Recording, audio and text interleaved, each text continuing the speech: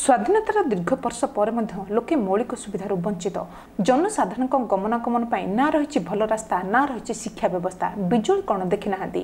ଡିବିର ଆଲୁଅ ହିଁ ସାହା ଭରସା। ଏଭଳି ମୌଳିକ ସୁବିଧା ବଞ୍ଚିତ ହୋଇ ଅଭିଶପ୍ତ ଜୀବନ ଦେଉଛନ୍ତି ନବରଙ୍ଗପୁର ଜିଲ୍ଲା ଝରିଗାଁ ବ୍ଲକ ତେଲନଦୀ ପଞ୍ଚାୟତ ଅନ୍ତର୍ଗତ କାନ୍ଧାସଡ଼ା ଗ୍ରାମବାସୀ।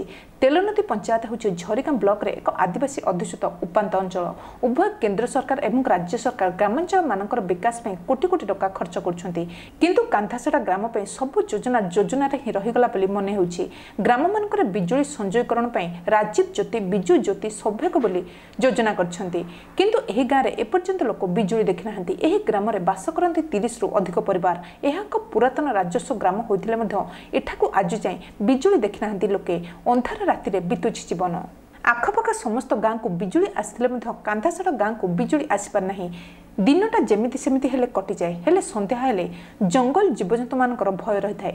ବିଜୁଳି ନଥିବା ଯୋଗୁଁ ପିଲାଙ୍କର ପାଠପଢ଼ାରେ ଅସୁବିଧା ହୁଏ। ଡିବିର ଆଲୁଅରେ ହିଁ ପିଲାମାନେ ପାଠ ପଢ଼ନ୍ତି ବୋଲି ଗ୍ରାମବାସୀମାନେ ପ୍ରକାଶ କରିଛନ୍ତି। ଗାଁରେ ବିଦ୍ୟାଳୟ କିମ୍ବା ଅଙ୍ଗନବାଡ଼ି କେନ୍ଦ୍ର ମଧ୍ୟ ନାହିଁ ଯାହା ଫଳରେ କି ଦୁଇ କିଲୋମିଟର ଦୂରରେ ଥିବା ଲମ୍ବିଦରା ବିଦ୍ୟାଳୟ ଏବଂ ଅଙ୍ଗନବାଡ଼ି କେନ୍ଦ୍ରକୁ ଚାଲି ଚାଲି ଯାଆନ୍ତି କୁନି କୁନି ଛାତ୍ରଛାତ୍ରୀ। ସେହିଭଳି ଏହି ଗାଁରେ ଭଲ ରାସ୍ତା ଖଣ୍ଡିଏ ନଥିବା ଯୋଗୁଁ ଛାତ୍ରଛାତ୍ରୀ ଏବଂ ଜନସାଧାରଣ ଗମନାଗମନ କ୍ଷେତ୍ରରେ ବାଧା ଉପୁଜିଥାଏ। ବର୍ଷା ଦିନେ ଗ୍ରାମବାସୀମାନଙ୍କର ଦୁର୍ଦ୍ଦଶା ଆହୁରି ବଢ଼ିଯାଏ। ପ୍ରତିଦିନ ଛାତ୍ରଛାତ୍ରୀମାନେ ଦୀର୍ଘ ଦୁଇ କିଲୋମିଟର କାଦୁଅ ପଚପଚ ମାଟି ରାସ୍ତା ଦେଇ ଲମ୍ବିତର ବିଦ୍ୟାଳୟକୁ ପହଞ୍ଚିଥାନ୍ତି। ସେହିଭଳି ଗାଁରେ ଗୋଟେ ହିଁ ନଳକୂପ ଥିବା ଯୋଗୁଁ ପାଣି ପାଇଁ ଲୋକେ ମଧ୍ୟ ହଇରାଣ ହରକତ ହେବାକୁ ପଡ଼ିଥାଏ।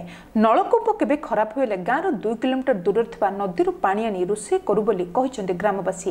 ଏହାକୁ ନେଇ ଝରିଗାଁ ବିଧାୟକ ପ୍ରକାଶ ଚନ୍ଦ୍ର ମାଝୀକୁ ଯୋଗାଯୋଗ କରିବାରୁ ଝରିଗାଁ ବ୍ଲକରେ ଅଧିକାଂଶ ଗାଁରେ ବିଜୁଳି ସଂଯୋଗ ହୋଇଥିବା ବେଳେ କାନ୍ଧାସଡ଼ା ଗ୍ରାମ ସହିତ ଅନ୍ୟ ବିଜୁଳି ନଥିବା ଗ୍ରାମଗୁଡ଼ିକର ତାଲିକା କରି ଯଥାଶୀଘ୍ର ବିଜୁଳି ସଂଯୋଗ କରାଯିବ ବୋଲି ସେ ପ୍ରକାଶ କରିଛନ୍ତି। ନବରଙ୍ଗପୁର ଦୁର୍ଗାମଲ୍ଲୀଙ୍କ ରିପୋର୍ଟ ଓଡ଼ିଶା ମୋବାଇଲ ଟିଭି।